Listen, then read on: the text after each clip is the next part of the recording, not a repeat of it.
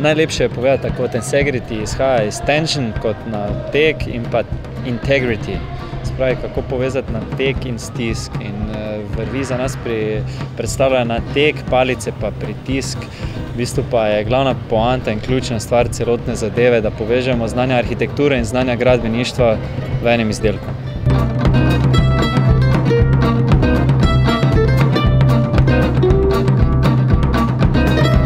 Videli smo se že parkrat prej na enih takih krajših sestankih, kjer smo se najprej dogovorili o modelčku, potem ga zgradili, sedaj pa delamo ta pravi model po tej naši mali maketi.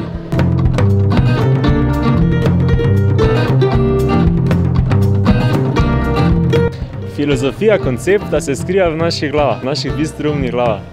Najprej smo seveda malo po spletu pobrskali po, po teh podobnih eh, projektih, ki so se že dogajali po svetu, potem pa smo nekaj izpeljali tudi na ta način, da to postavimo.